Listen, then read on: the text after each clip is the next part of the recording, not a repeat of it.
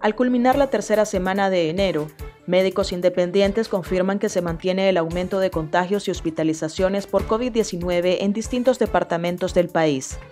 El Observatorio Ciudadano reporta 90 nuevos casos de COVID-19 y 20 fallecidos en la semana hasta el 20 de enero. El aumento del contagio de COVID-19 es notorio en los hospitales alemán nicaragüense, Pais, Cermesa y Vivian Pelas en Managua mientras el Ministerio de Salud mantiene un subregistro de la tragedia, con solamente un fallecido por semana. Mientras tanto, el epidemiólogo Álvaro Ramírez salió de la unidad de cuidados intensivos en un hospital en Irlanda, donde estuvo intubado por 10 días y muestra signos positivos para su recuperación. De igual manera, el doctor Bismarck Somarriba lleva más de nueve días hospitalizado en la unidad de cuidados intensivos del Hospital Vivian Pelas, y aunque todavía está intubado, está consciente y muestra signos de mejoría en su estado de salud.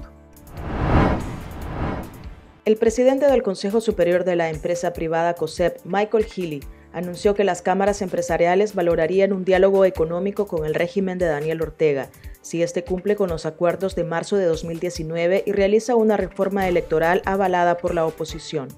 Los acuerdos de 2019 que se suscribieron durante el diálogo nacional incluían el cese de la represión y el restablecimiento de las libertades públicas en el país, así como la liberación de todos los presos políticos y el cierre definitivo de sus causas. Healy además mencionó que si no hay un arreglo político no habrá estabilidad económica y por lo tanto esperan que la reforma electoral cuente con el aval de la Organización de Estados Americanos y la Unión Europea.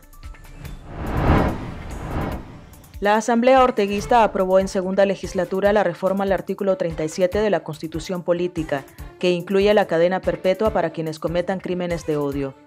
Con esto, el orteguismo completa el tridente de leyes punitivas que empezaron a aprobar en el año 2020 y que incluye la ley de agentes extranjeros y la ley de ciberdelitos.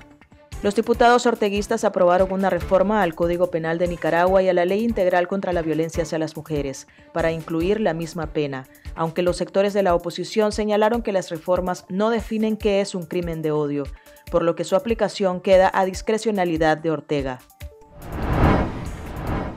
El ex concejal de Masaya, Benjamín Gutiérrez Collado, quien fue detenido el pasado 13 de enero, está siendo juzgado por supuestamente haber cometido delito de tráfico de estupefacientes y portación ilegal de armas. Su familia sostiene que los delitos son fabricados como represalia contra el exconcejal porque este se sumó a las protestas de abril de 2018, a pesar de haber sido electo por el Partido Resistencia Nicaragüense, en alianza con el Frente Sandinista. Gutiérrez fue beneficiado por la ley de amnistía aprobada por el orteguismo en junio de 2019 y ahora es acusado de delitos comunes igual que otros presos políticos del régimen. En Estados Unidos, el demócrata Joe Biden se juramentó como presidente número 46 y de inmediato firmó 15 decretos que revirtieron los cambios realizados por Donald Trump en materia de inmigración y de medidas preventivas para evitar más contagios de COVID-19.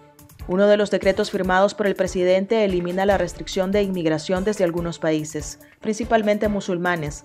Mandó a detener la construcción del muro en México y eliminó la medida que obligaba a los migrantes a esperar en ese país mientras se resolvía su caso en Estados Unidos.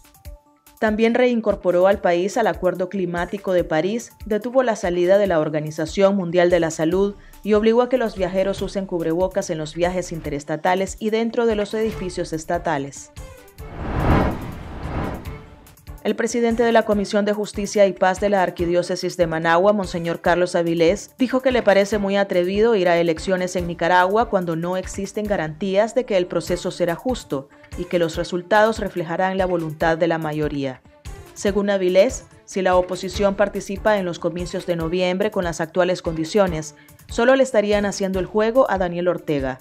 Además, Cuestionó la falta de libertades públicas, la aprobación de leyes punitivas que buscan intimidar a los opositores y el agravamiento de la crisis política que atraviesa el país. ¿Qué valoración tiene la Iglesia sobre el estado de las libertades democráticas en Nicaragua? ¿Hay libertad de reunión, de movilización, de prensa o libertad de expresión? No, a veces lo hemos estado diciendo en los, en los mismos mensajes de todo el año, siempre hemos estado pidiendo que restricta libertad de prensa y de, manifestación y movilización de las personas porque no hay, lo hemos estado repitiendo continuamente en los, comunicados, los comunicados, en los mensajes pues que damos a la gente.